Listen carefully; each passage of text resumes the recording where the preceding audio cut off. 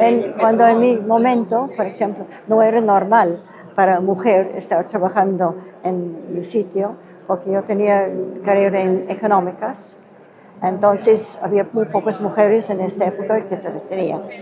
Y en el en SADE, pues empecé a trabajar con los chicos del, del Masters, Pre-Masters, y lo pasé muy bien.